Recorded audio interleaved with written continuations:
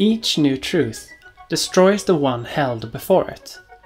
The jolting results collapse one upon the other when the foundation is shaken, the one upon which they were supported. In the history of human culture and science, viewpoints, which had once become worthy dogmas, have had to experience more than once that they one day no longer held water. The deeper we are forced into the countless forms of the appearances in nature, the more is the unforeseen more obvious, the more plentifully have we had to learn afresh. That is uncomfortable, and doubly uncomfortable when it is a matter of presuppositions that have become foundations of government, tradition, society, and religion. Well, let's just wait a little bit more. Currently, there is a bit of a debate in the trans community about who is really trans. Some people say that as long as you identify as trans, well, then you are trans. If you want to be trans, then you are trans. And I am personally of this persuasion myself. But there are some people who say that you need to be diagnosed as trans. This second group sometimes calls themselves transsexuals or transmedicalists, as opposed to those transtrenders who only identify as trans because it's trendy and fun and popular now, and these youths, you know, how they do things. Now, this video is unfortunately going to be a little bit binary. I am a binary trans woman, and this is a subject often brought up by other binary trans people. But I think it's important that, you know, us transsexuals also say something about it. Now, I'm not going to tell you why non binary trans people or trans people who don't experience dysphoria are trans. Instead, I'm going to try to explain why some people desperately want to say that they aren't.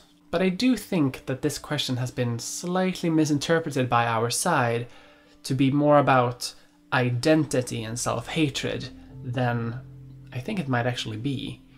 Because I don't think that's where most transsexuals are coming from. What if the transsexuals are onto something more than that? I won't be defending anyone in this video.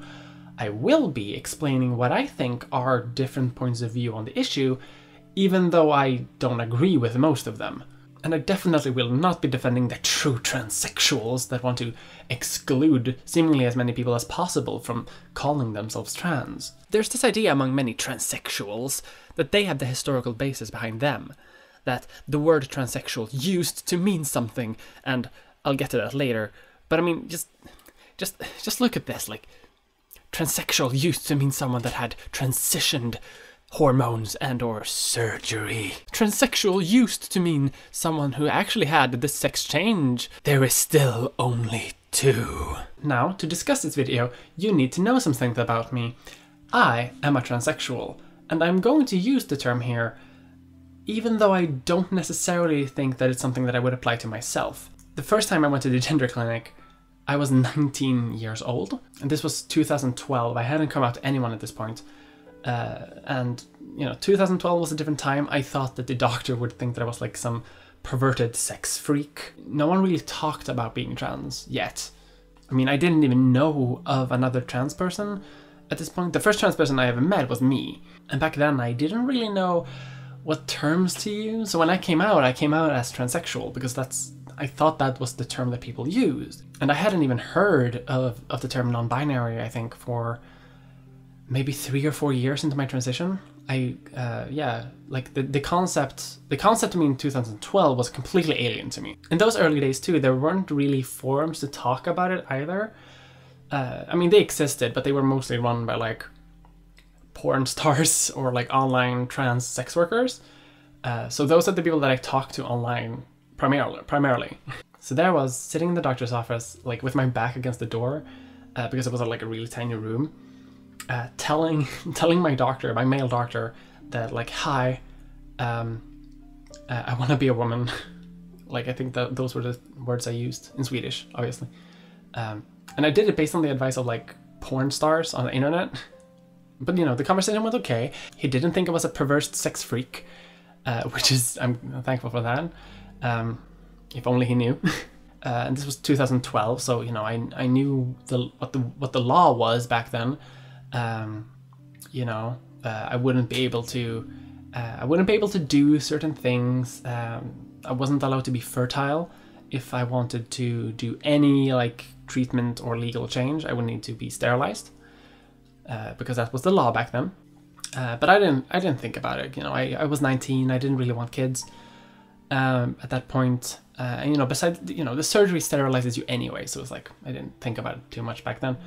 Uh, and besides, like you know, the the doctor said that trans people are unfit parents anyway, so you know it's fine. Um, but after that, after that first meeting, uh, you know, I didn't get, you know, I didn't get hormones or anything. You know, I didn't. They didn't ship me off to surgery directly because you know shit takes time.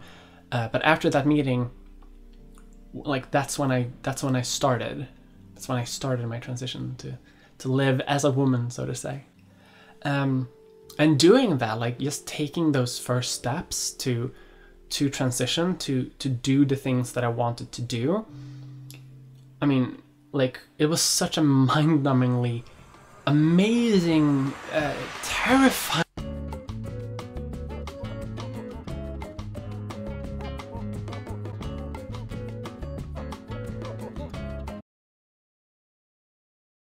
A mental illness is a condition that causes disorder in a person's thinking or behavior. We define disorder by judging if it would have an impact on a person's everyday life, on their ability to live a normal life. That means that two people with the same condition might not be diagnosed as having the same condition, because it might not have the same impact in their normal everyday life. If you have social support, if you have more money, then your condition might not impact you in the same way that it might impact someone else. But the most important part might be what does a normal life even mean in the first place? When I was in university, I actually studied a fair bit of psychology. And one of the first things that they tell you is that what a mental condition is, what mental unhealth is, is incredibly subjective. And the reason for that is that humans, as we are, are incredibly varied. Do you have an anxiety disorder? Or are you just poor and your anxiety is actually just coming from not being able to afford food? Doctor, I can't sleep. I can't eat. My parents force me to work in the fields 18 hours a day. I have no time for myself. Yes, I have a diagnosis. You're hysterical. Bye. Historically, all sorts of things have been considered mental illnesses, including but not limited to masturbation, oral sex, that kinky thing that all the YouTubers do at the conventions, being a good, good girl. Anything that was fun, really. Obviously, psychology has been a help to many people, so it's not all pseudoscience trying to control people, but it's hard to ignore that that is a big part of what psychology has historically been. But because of this, and what I mentioned earlier, the line to draw between a mental illness and mental health is not as clear as you might think. The line between someone suffering because of a mental condition and the line between someone not fitting into society because of a mental condition and that is causing them suffering is fuzzy at best. Are you unhappy because you're trans? Or are you unhappy because society treats you like shit for being trans? Or both? The source of the condition doesn't really matter as much as the fact that it is in fact impacting your life. And if it doesn't, if it doesn't affect your life, well, then you're just expressing humanity. Then you are just a normal person, a varied being, and the lines between them are arbitrary, subjective, and have to be made on a case by case basis, which is why a psychologist is involved and why you can't really draw a blood test to see if you're trans or not. That's because there is no objective essence of mental illness. Because if you did that, then there would be an objective way to see if someone is acting normally. And you can't really do that. And so the question really boils down to how do you suffer?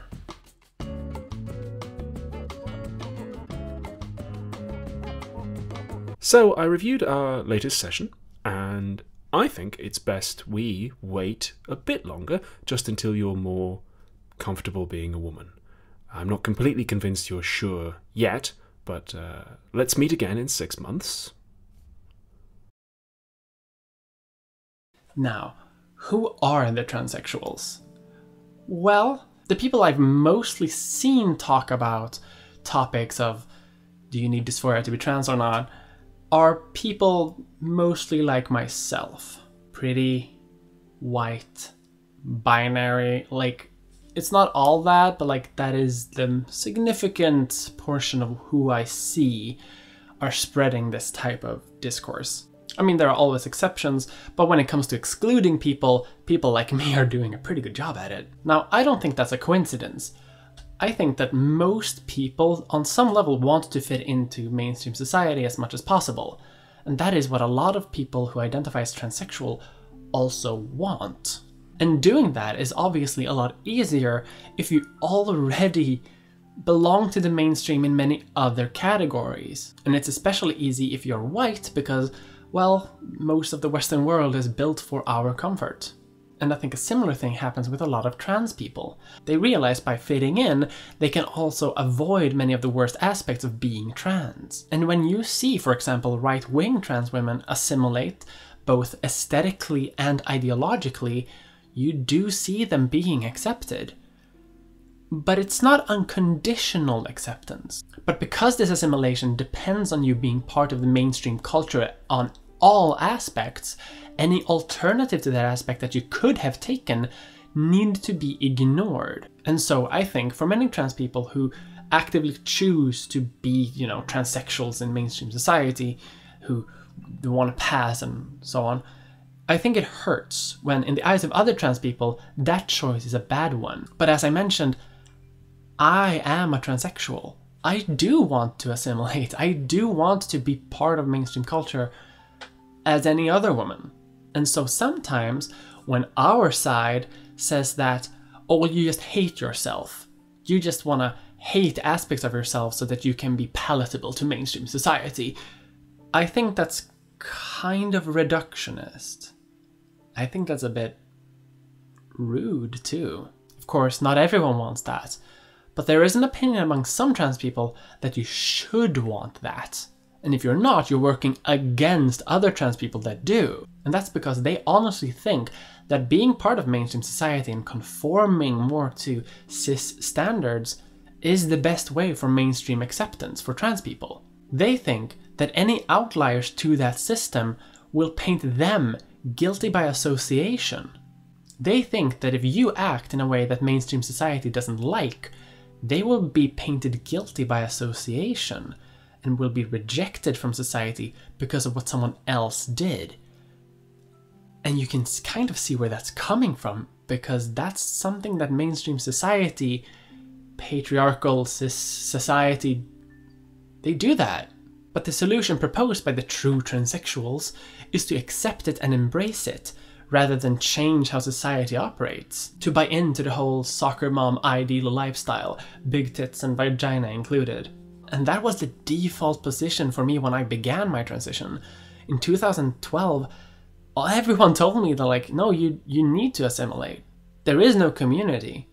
If you go alone, you will die. The plan that everyone told me in the beginning was either to get into porn, or to get all my surgeries, work on my voice, save up some money, uh, get all my papers done, get all my surgeries done, uh, move to a new city, cut all connection with my former life, and live in hiding, like living in stealth, as they say. Like you, you hide, uh, and you don't let anyone ever know of your former life, because if you do, you are doomed.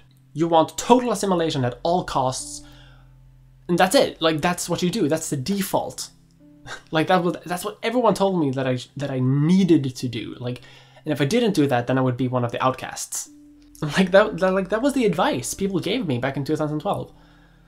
It's like it's not even it's not even 10 years ago. And the other thing is like I bought into that. I was like, yeah. Yeah, of course. Of course I need to do that. Like, yep. Mm-hmm. Yeah, sure. I mean, maybe I'm just from another generation of trans women, but living through that, like having that be like my my long-term plans for life for a significant portion of my early transition, I think I think it helped me understand why some people still think assimilation is the best option today. But I gotta say, that's a very privileged solution. Just become like us and you'll be right as rain. And that might work, you know, if you have enough of an income, a social safety net, uh, friends that can support you doing that, uh, maybe some savings to spend on surgery. And, you know, that's even easier when you're transitioning into something that society already accepts exists. Women. Being binary is a privilege in that sense. However, most people can't do all that. Very few can. And I realize the irony in me saying that, but you know, one of the transsexuals had to break rank and say,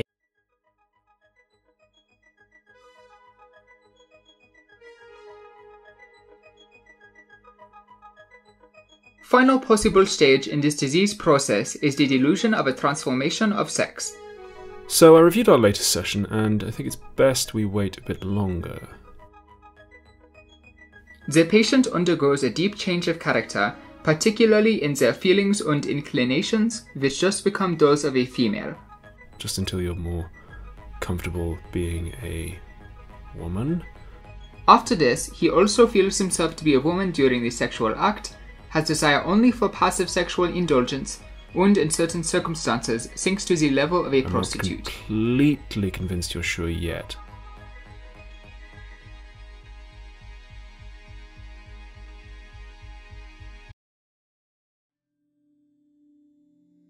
In 1886, sexologist Richard Kraft Ebing published the first edition of his magnum opus, Psychopathia Sexualis. He was actually one of the founding figures of sexology, even if he didn't know it at the time, and his work has gone on to influence almost all of sexual pathology. Psychopathia Sexualis is a medical textbook, named as such for the explicit purpose of scaring away normal people that can't read his very fancy, fancy book. If you Google it, you'll probably find porn. Sorry. His early editions mostly focused on stuff like fetishism and masturbation and, you know, other things people in the 1880s didn't really like. But in later editions, he brought up the topic of homosexuality. He describes homosexuality as a nervous disease with several stages. The final one is metamorphosis sexualis. All this fake Latin, it's great, I love it. Now, Ricky here describes homosexuality in a very modern, progressive way. He doesn't describe it as being a sin, instead, he describes it as a disease that you can be cured of. Apparently, you can also cure it with sterilization because it prevents onanism if you can't jizz. But I know several trans women who don't even have testicles anymore and they still. Now, Richard describes this as happening in several stages, and I promise you that I'm not joking. First, as attraction to the same sex, while still retaining a dominant role in coitus. Next, the patient exhibits feminine traits and takes on the passive, submissive role of a woman. Finally, the patient believes himself to be a woman, not as delusion, but described as a female soul in a male body by one of his patients. Being afflicted by this final stage is called metamorphosis sexualis. His writings went on to influence many other thinkers and doctors, and eventually laid basically the foundations of modern sexual pathology. And over decades and many other thinkers, this became the dominant view of gender identity and sexuality. In fact, this is the earliest sign I can find for why some people think that being trans is just being more gay because like that's basically what he he believed. In the 1800s, their view of sexuality was that well, if you're attracted to men, then you have to be a woman because only women are attracted to men, clearly. And so any men attracted to other men were described as being a little bit womanly until eventually, I guess, just the woman just takes over, I guess, or something. And because of this, the idea of sexuality and gender identity being linked have remained in the discourse until basically very recently. But of course, this view of gender identity and sexuality didn't work. So, and so eventually, recently, is starting to fall out of fashion. But because this view of gender identity and sexuality was dominant for so long, even modern pathology or modern doctors still sometimes fall into the traps of 19th century thinking. But he wasn't the only one to think about gender identity and sexuality. A couple of years after Krafft-Ebing, another man called Magnus Hirschfeld did some thinking. Now, he did activism and research on issues like gender identity and sexuality in an institute that he founded in Germany in 1922.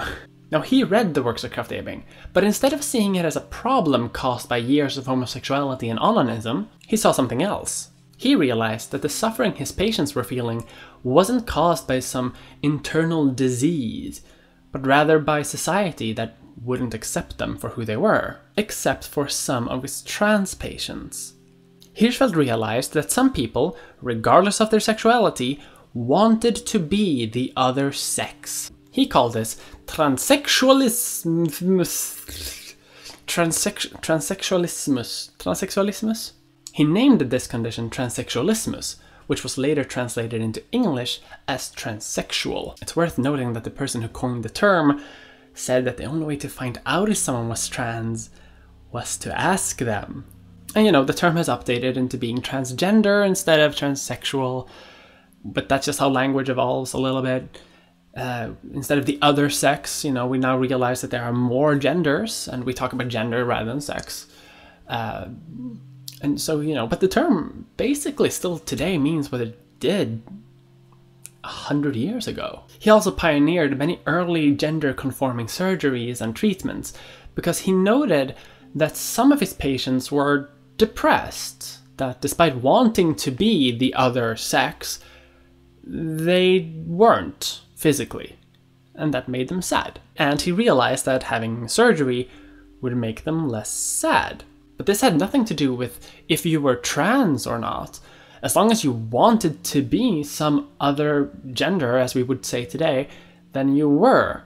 And besides, in those days, surgery was cutting edge. It was not really something that most people went through. And so, surgery or any form of treatment was never expected for anyone who was labeled under the term transsexual, even by Hirschfeld himself. Instead, Hirschfeld said that people who were homosexual or were trans were simply part of the human variance of expression. Although, to be fair, Twitter didn't exist in those days, so. Oh, Magnus, you trender. You can't just invent a new term like that. You can't say that they're transsexuals. They have a mental disease called metamorphosis sexualis. You trender. But the most important takeaway from this is that Hirschfeld coiner of the term transsexual never wanted to pathologize anyone labeled under it. It was simply a description. Some people may be sad and have depression because of their bodies, and that they should have surgery if they want to. And that was it. That was the extent of trans discourse in 1922. So I get pretty like angry when I hear other transsexuals say that like, oh well, it used to be this way, or like transsexual used to mean something, and like you you used to have requirements for this shit. And it's like, no, like, no, the requirements are a very recent thing. And the, like, the person who invented the term just said, like, do you wanna? Great! Compared to today, with all our labels and discourse and communities and bickering about requirements or stuff doesn't it seem easier? Doesn't it all seem simpler back then? So the people arguing that you need dysphoria to be trans, they are the ones adding meaning to the word that wasn't there before. They are the trenders. So the modern idea of the transsexual or the transmedicalist community or whatever, they have no historical basis.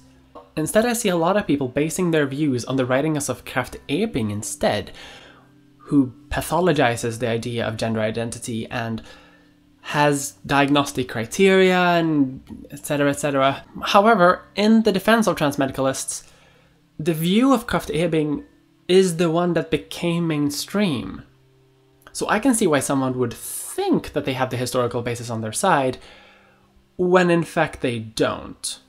The medical community may have adopted the terms that Hirschfeld used, but they also adopted the diagnostic criteria and pathologic view of gender identity that was proposed by Krafft-Ebing instead. But there's more to it, isn't it? Like, it doesn't have really to do with with history or medical science. Like, it doesn't matter. There's more to it, isn't there? There's more suffering. Final possible stage in this disease process is the delusion of a transformation of sex. The patient undergoes a deep change of character, particularly in their feelings and inclinations, which just become those of a female. After this, he also feels himself to be a woman during the sexual act, has desire only for passive sexual indulgence, and in certain circumstances sinks to the level of a prostitute. I think it's best we wait a bit longer, just until you're more comfortable being a woman. The point that I was eventually going to make in this chapter was that, well, many transsexuals are stuck in the mindset of sexual pathology, but I already talked about Krafft-Ebing. And I already talked about Magnus Hirschfeld. And this this information is common knowledge. It's not common knowledge, but it's like it's commonly available, right? Um, like defini- the definition of transsexual transsexualism, right? It doesn't matter.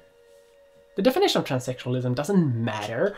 The the historical implications of, of the term and uh, the historical like nature of, of, of LGBT pathology, it doesn't matter. Does it? Like, cause, cause you can go find it out, but people are still assholes about who can be trans or not. So, where's it coming from? Really? Uh, because logically, it shouldn't exist.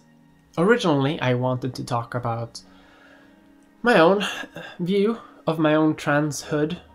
Um, you know, because I, I'm pretty stereotypically trans. I I I match I match the mold of what you imagine when you imagine a trans woman. Like that's that's me. And that's because like by any definition, I am a transsexual. You know, I'm going to get the surgery. I have dysphoria. I suffer for my womanhood. Ugh. But also because I think that you know, obviously there are many different ways of being trans. Uh, and I think like obviously this includes like binary and non-binary trans identities um, and even within binary identities right because like trans women and trans men are have incredibly different experiences uh, but also like I, I think there is a difference between trans people who who experience dysphoria and trans people who don't uh, it's just that i don't think that difference matters right like i think it's i think it's there so okay i'm not a dick like I know that my experience of being trans is my own, and I don't really expect anyone else to have that experience either. Like, I'm not gonna go around and tell people, like, you're not trans because your experience isn't universally identical to mine. Like, that's, that's a very, like, that's a very shitty thing to do, I think. Like, telling other people that unless their experience is like yours, that, then they're not valid. Like, fuck off. So I think that anyone who calls themselves trans is trans dysphoria doesn't really matter. Uh, uh, like, like now I want to say but, but if I say the word but, then I sound like a transmedicalist. So okay, I'm gonna say like this. I've been transitioning now for seven years, uh, and as I mentioned in the very beginning, when I started, it, it was illegal in Sweden for trans people to be fertile and have any treatment. Um, so if I wanted to change my legal name, like just a, just something bureaucratic, like if I wanted to change my ID, it was like, no, that's Snip That also meant that I didn't have a right to freeze sperm in a fertility clinic because that would technically potentially make me fertile because those could be used to make a baby, uh, and you can't have that. Um, uh, and because you know, hormone treatments can sometimes potentially sterilize you, depending on the brand and depending on strength and whatnot. Um, it can mess up for your fertility in any case. So I had a decision to make.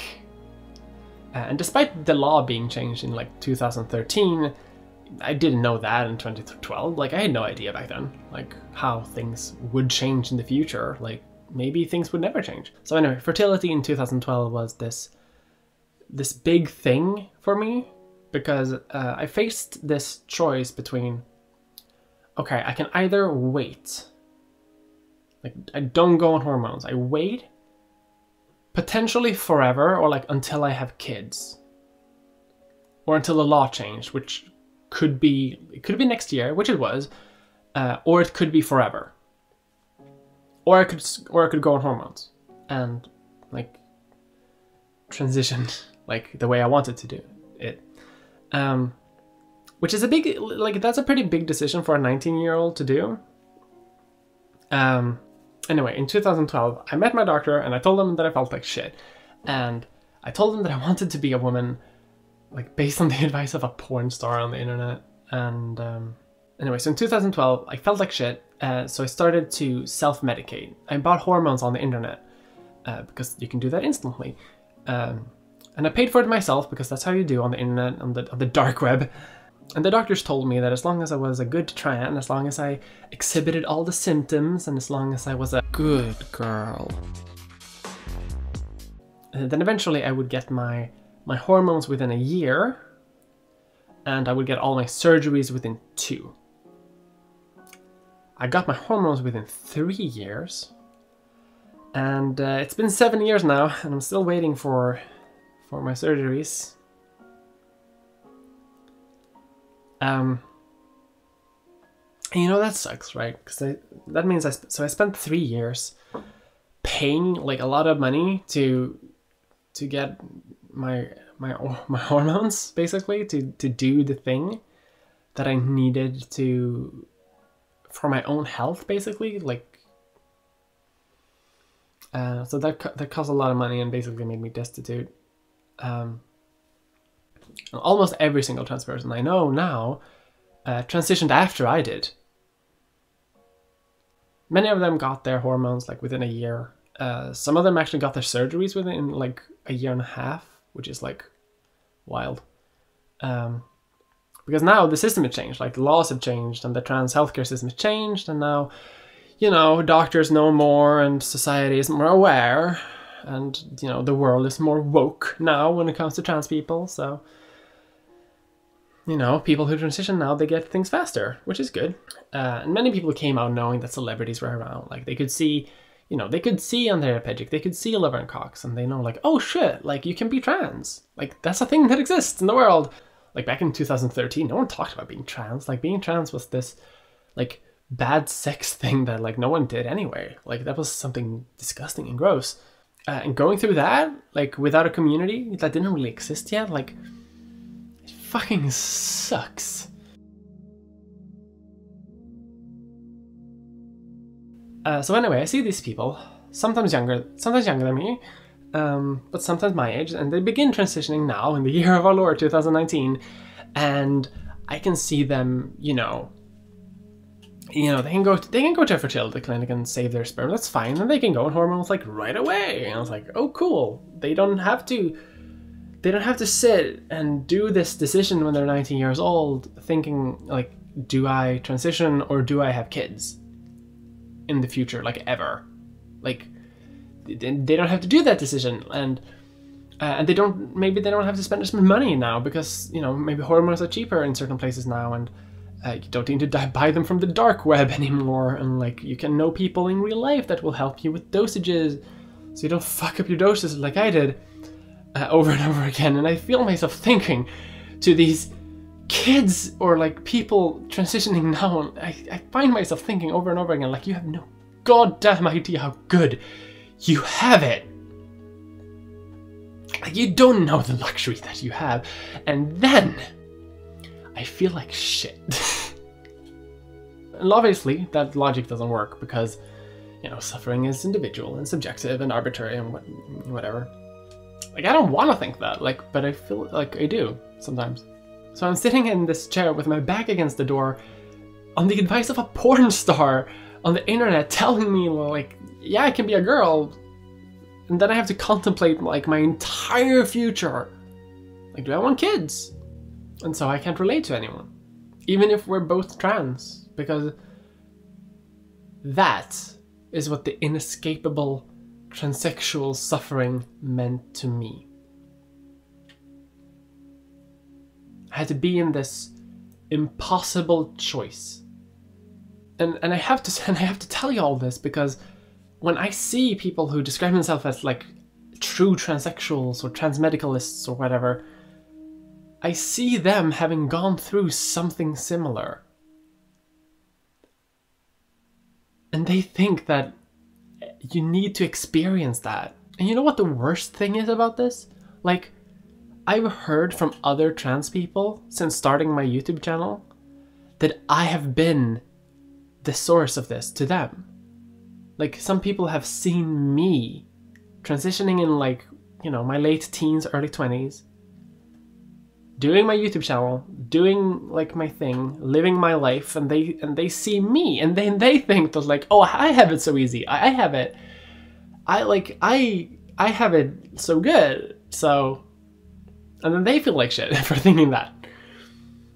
So we can't win. Like it just goes round and round. Like we all just we're just envious of each other all the time.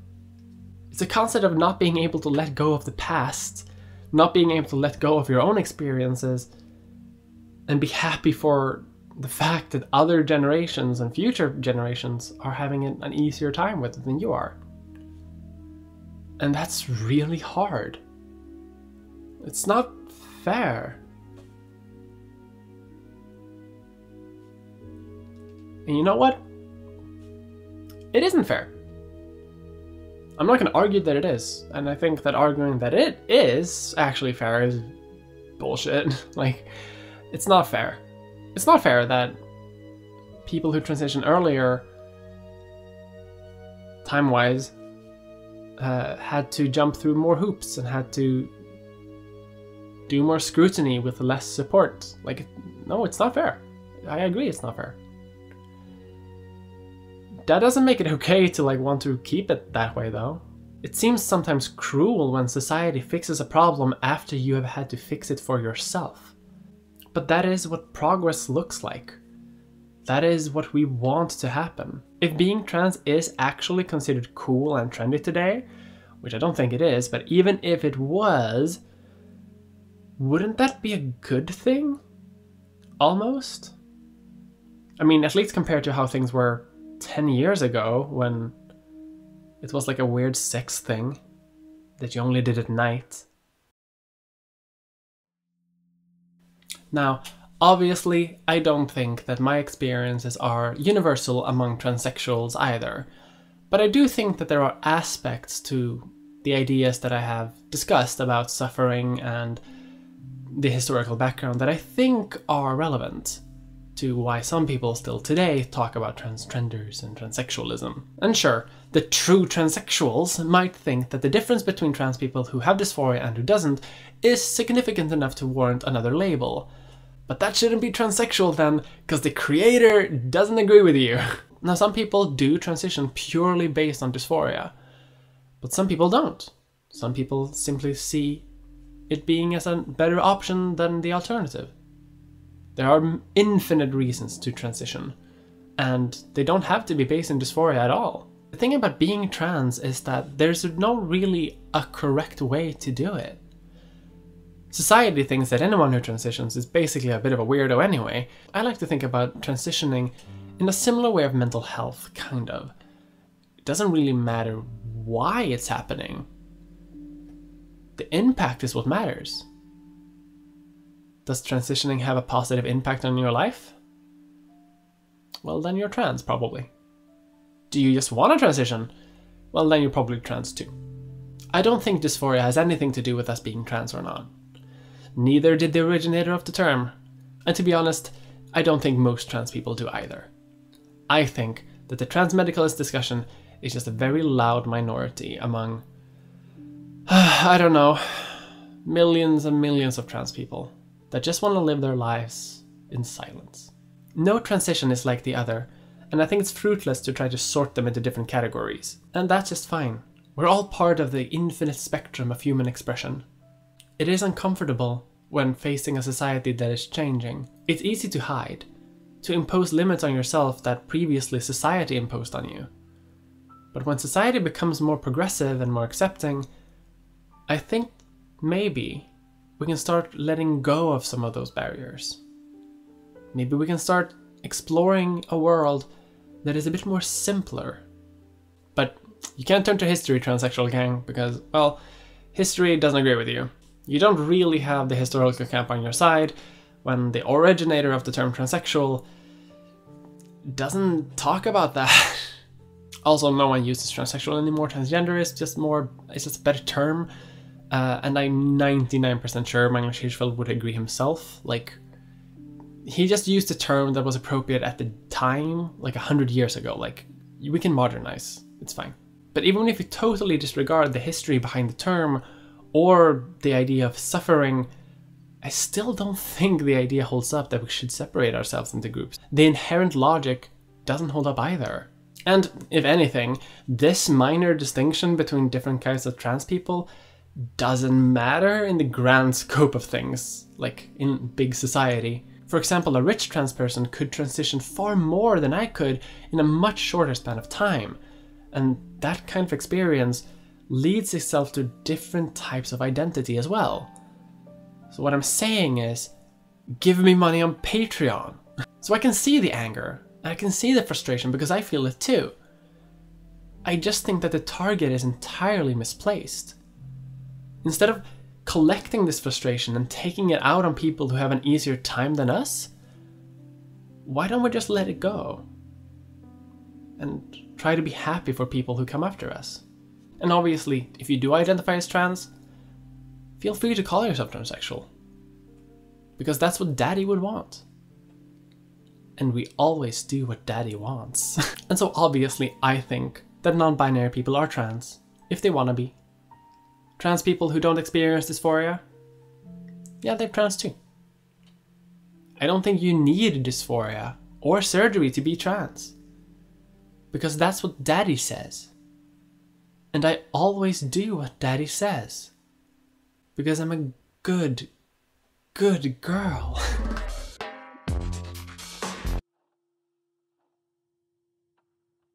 Sorry for taking so long making this video.